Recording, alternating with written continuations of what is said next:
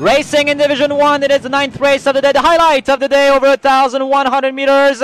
Star Charm kind of missed the start along with the number 5 Love Love. Quickest out of the gates will be uh, Sia Chenois who takes the lead, second position on the outside for True Play in front of Sea Pearl for Vigicon. Next is Blue Marine, then comes uh, Nong Hai Mook in front of Duang Nong Lek. Uh, then came uh, True Play in front of Star Diamond and Kun Phuket and Maha. They make a left in the bend.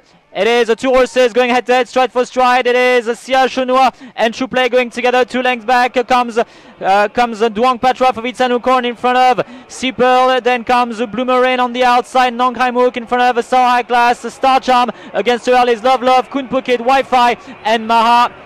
200 meters away from the post. It is Duang Patra who takes it for Vitsanukorn now. Duang Patra has taken the lead. Duang Patra takes the lead. 100 meters away from the post. It is Duang Patra who is going to fly home. Duang Patra literally flying home for Vitsanukorn. Vitsanukorn wins Division 1, beats home Nong Hai Mook in front of number 5, Love Love. Then came Star Charm in front of Kun Phuket. Then was Sia Chenois in front of Blue Marine. Last home was Star High Class.